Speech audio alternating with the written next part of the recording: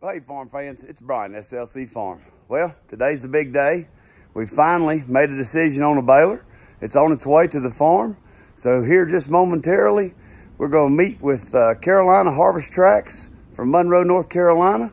Learn about this new baler. This will be our first time ever seeing it besides pictures on the internet um, and videos from uh, YouTube. So guys, remember, if you like this video, subscribe to our channel, hit that thumbs up, leave us a comment. Let us know what you think. Thanks for watching. Well, here she comes, folks. She's pulling in. It's the first time we're both seeing it.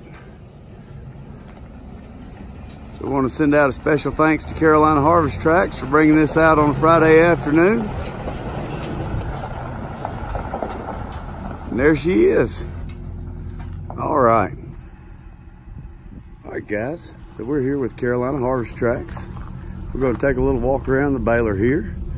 This is our first look at it. And uh, this baler was a demo model. It had 50 bales through it. It's a 2018.